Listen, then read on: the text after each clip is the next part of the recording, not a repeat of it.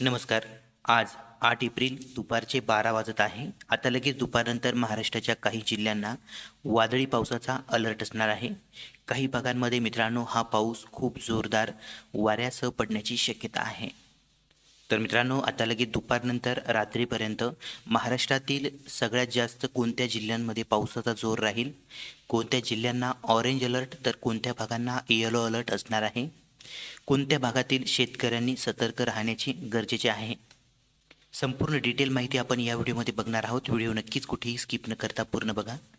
दुपारनंतर रात्रीपर्यंत महाराष्ट्राच्या काही भागांना अलर्ट असणार आहे. काही भागांमध्ये खूप जोर पावसाचा राहण्याची शक्यता आहे.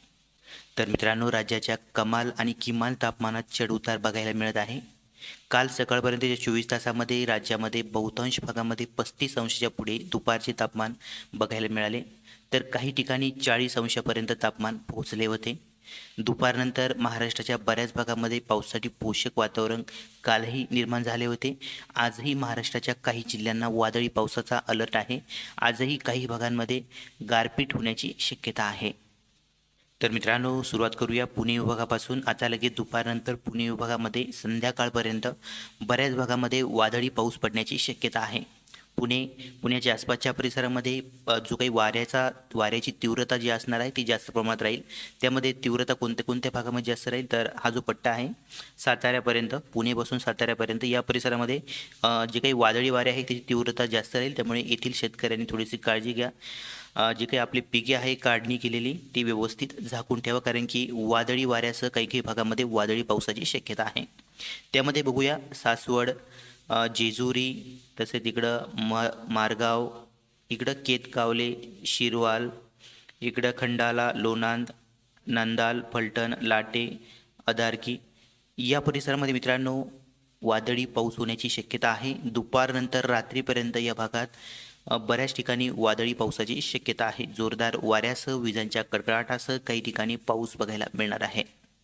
त्यानंतर मित्रांनो पुणे विभागातील पठाण कराड मायानी विटा इस्लामपूर या भागांमध्ये सुद्धा वादळी पाऊस होणार आहे. एखाद्या ठिकाणी हलकी गारपीट होण्याची शक्यता सुद्धा या परिसरामध्ये नाकारता येणार नाही. पुणे जिल्ह्यापासून तर सातारापर्यंत तुरळक भागामध्ये हलकी गारपिटीची शक्यता सुद्धा नाकारता येणार नाही. सांगली आणि सांगलीच्या आसपासच्या परिसरामध्ये सुद्धा दुपारनंतर संध्याकाळपर्यंत बऱ्याच ठिकाणी पावसासाठी पोषक वातावरण निर्माण होताना बघायला मिळेल. काही ठिकाणी हलका ते मध्यम स्वरूपाचा पाऊस जोरदार वाऱ्यासह बघायला मिळू शकतो. पुणे विभागातील सोलापूर जिल्ह्यामध्ये रात्रीपर्यंत पाऊस पडण्याची शक्यता आहे.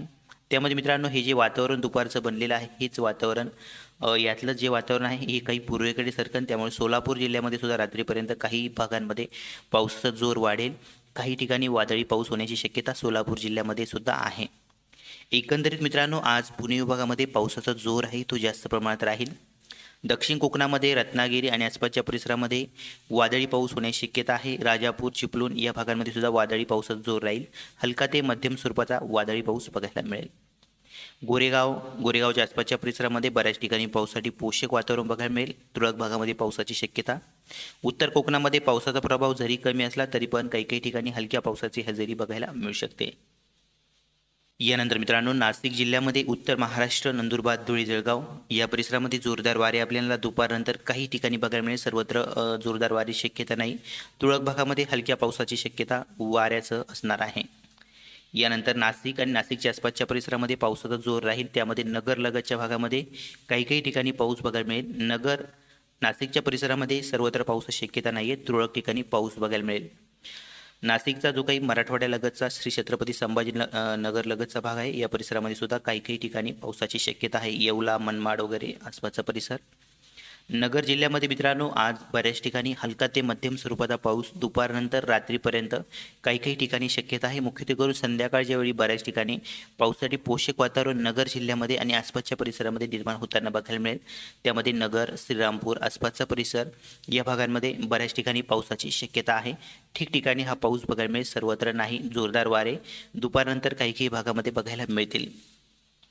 आज श्री छत्रपती संभाजीनगरच्या आसपासच्या परिसरामध्ये दुपारनंतर बऱ्याच भागामध्ये पावसाची शक्यता आहे. त्यामध्ये आपण स्किनो बघू शकता.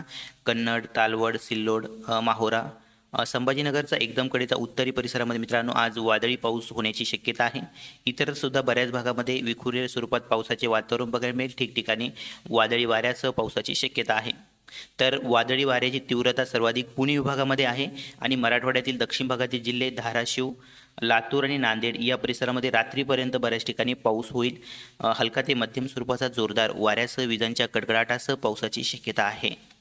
अमरावती विभागामध्ये अमरावती अकोला बुलढाणा वाशिम यवतमाळ या जिल्ह्यांमध्ये जरी वादळी पावसाचा प्रभाव कमी असला तरी पण वाशिम आणि यवतमाळच्या तुरळक परिसरामध्ये जोरदार वाऱ्यासह हलका पाऊस बघायला मिळू शकतो. अमरावती अकोला बुलढाणा या परिसरामध्ये तुरळक ठिकाणी हलक्या पावसाची शक्यता आहे. बुलढाण्यामध्ये बऱ्याच ठिकाणी चांगल्या स्वरूपाचा पाऊस बघायला मिळू शकतो कारण की जे काही मराठवाड्यातील हे वातावरण आहे हेच पूर्वेकडे सरकून या परिसर येथील आसपासच्या परिसरामध्ये वादळी पाऊस होऊ शकतो. नागपूर विभागामध्ये नागपूर वर्धा भंडारा गोंदिया चंद्रपूर गडचिरोली या भागांमध्ये वादळी पावसाचा प्रभाव जरी कमी असला तरी पण तुरळक भागामध्ये जोरदार वाऱ्यासह हलक्या पावसाची शक्यता आहे. पावसाचा जोर नागपूर विभागामध्ये आज कमी आहे. दक्षिण भागातील जिल्ह्यामध्ये रात्री मध्यरात्री काही काही ठिकाणी पावसासाठी पोषक वातावरण निर्माण होईल. याविषयीची अपडेट आपण संध्याकाळच्या व्हिडिओमध्ये देऊ. ही होती मित्रांनो महत्त्वाची अपडेट. व्हिडिओ आवडला तर लाईक करा शेअर करा. चॅनलवर नवीन असाल तर सबस्क्राईब करायला विसरू नका. धन्यवाद.